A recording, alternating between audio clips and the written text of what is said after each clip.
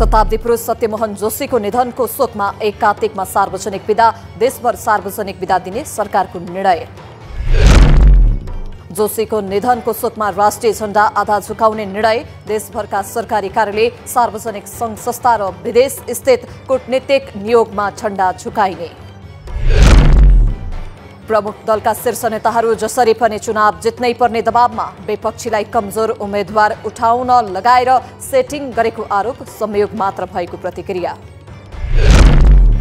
प्रमुख दलहरू घोषणा पत्र लेखनमा व्यस्त नागरिक समाजको दबावले पनि गर्न सक्ने काममा केन्द्रित हुँदै कङ्ग्रेसले भन्यो एमाले गफ मात्रै गर्छ। हामी काम गर्न घोषणा पत्र ल्याउँछौ। कङ्ग्रेसमा सभापति देउबासँग अब आफ्नो कुनै विवाद नभएको नेता कोइरालाको भनाई देउबा पक्षका नेतासँग गुटगत झगडा नगर्न निर्देशन। कङ्ग्रेसका काठमाडौँ क्षेत्र नम्बर एकका उम्मेद्वार प्रकाशमान सिंहद्वारा प्रतिबद्धता पत्र सार्वजनिक कम्युनिष्टको लाल किल्लाबाट कङ्ग्रेसको किल्लामा रूपान्तरण गरेको दावी। प्रहरी संगठन राजनीति हस्तक्षेपले थिलो थिलो दिवसको दिन भने प्रधानमन्त्रीले गरे प्रशंसा। प्रहरीलाई कमजोर बनाएर शक्ति केन्द्रको रजगजमा प्रहरी अधिकारी पनि दोषी। नेपाल प्रहरीको कार्य सम्पादनबारे अन्तर्राष्ट्रिय स्तरमा समेत प्रशंसा हुने गरेको प्रधानमन्त्री शेरबहादुर देउबाको भनाई समयसँगै परिवर्तन हुन निर्देशन। संसारभर अपराधका नयाँ आयाम थपिएकाले विज्ञान र प्रविधिमा जोड दिन गृहमन्त्री बालकृष्ण खाँडको प्रहरीलाई निर्देशन प्रहरीको क्षमता बढाउन आफू तयार रहेको स्पष्ट समानुपातिक बन्द सूचीमा रहेका चार सय उनाचालिस जनालाई कार्तिक पाँचभित्र जरिवाना बुझाउन निर्वाचन आयोगको निर्देशन अन्यथा बन्द सूचीबाट नाम हटाउने चेतावनी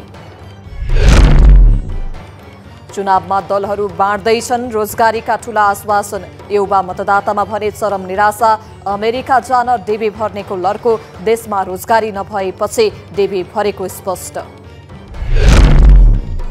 फूलहरूको पर्व तिहार नजिकिएसँगै पुष्प व्यवसायीलाई फूल टिप्ने चटारो। सरकारले प्राथमिकता नदिएको व्यवसायीको गुनासो।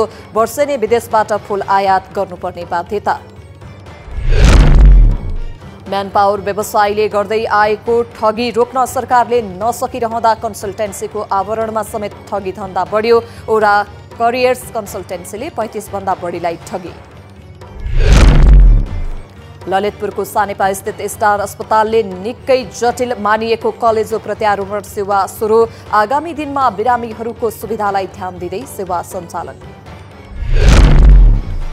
विश्व बसोबास दिवस समावेशी सहर बस्तीको आवश्यकता। सबैको साझा प्रतिबद्धता भन्ने नाराका साथ सोमबार मनाइयो। स्मार्ट सिटी निर्माणको काम जारी। ब्याङ्कले अस्वाभाविक ब्याज बढाएको भन्दै पश्चिम नवलपरासीका व्यवसायीहरू आन्दोलित। व्यवसाय धराशायी बनेको भन्दै चक्का जाम र विरोध सभा। लमजुमको घले गाउँको मुहार अहिले फेरियो। पाँच दशकपछि पुराना टिनको छाना फेरेर राता रङ्गीन छाना राखियो। सबै घरका छाना रातो भएपछि गाउँ नै आकर्षक देखियो। निर्वाचनका लागि नेकपा एमाले कञ्चनपुरले सबै पेसा व्यवसायमा लागेका व्यक्तिहरूको सुझाव सङ्कलन गर्दै पाँच वर्षभित्र पूरा गर्ने योजना बनाउने। भोजपुरको अरूण गाउँपालिकाले वडा स्तरमा नै सामाजिक सुरक्षा भत्ता वितरण गर्न सुरु घरबाटै सेवा लिन पाउँदा स्थानीयवासी खुसी। नवौं राष्ट्रिय खेलकुद प्रतियोगितामा त्रिभुवन आर्मी क्लबको अग्रता कायमै सतासी स्वर्ण पदकको छिनोफानो हुँदा आर्मीलाई अडतिस स्वर्ण सत्ताइस रजत र एक्काइस काँसी। नवौं राष्ट्रिय खेलकुदमा एथलेटिक्सको तीन हजार मिटर स्टेफल चेसमा कर्णालीका दुर्गा बुढालाई स्वर्ण पदक। इस्को आवाजको पुरुष से गलमा गण्डकीका अमृत थापा विजयी। नवौं राष्ट्रिय खेलकुद प्रतियोगिता अन्तर्गतको महिला क्रिकेटको सेमिफाइनल खेल सम्पन्न स्वर्ण पदकका लागि विभागीय टोली नेपाल पुलिस क्लब र एपिएफ क्लब भेट्ने। नवौं राष्ट्रिय खेलकुद प्रतियोगिता अन्तर्गत स्क्वासमा गण्डकीका अमृत थापा मगरलाई पुरुष व्यक्तिगत विधामा स्वर्ण पदक थापा मगरलाई स्वासमा तेस्रो पटक स्वर्ण पदक।